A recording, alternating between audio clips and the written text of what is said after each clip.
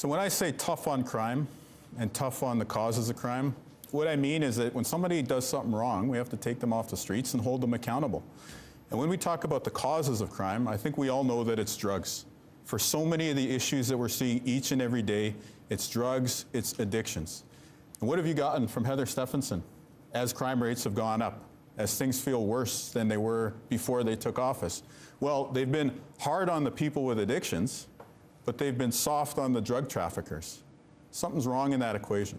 So we will bring the hammer down on drug traffickers. We will crack down on the people who are bringing toxic drugs into our communities, the people who are breaking our families apart, who are robbing us of our loved ones.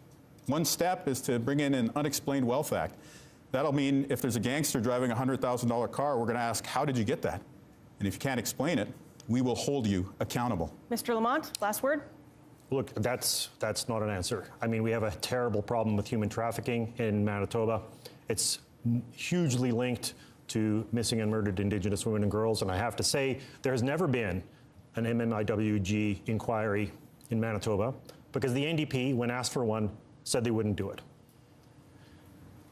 Just on the landfill, this should never have been a political issue at all. This should just be a straight out police investigation.